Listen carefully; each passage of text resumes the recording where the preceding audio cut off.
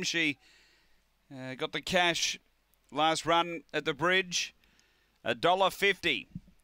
They've moved in quickly. Light on. Set to go. This is race number three. Ready here at Angle Park.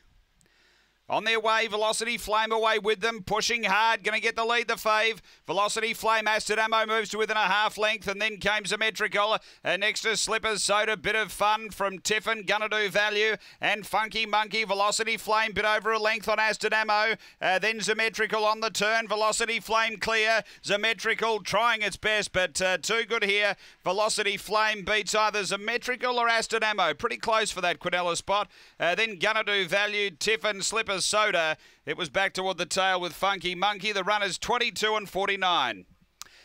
Race three, Velocity Flame. She had the pace. She had a bit of space as well, actually, underneath to uh, get through and hold the front and was too good here. It's one, three, four, and six.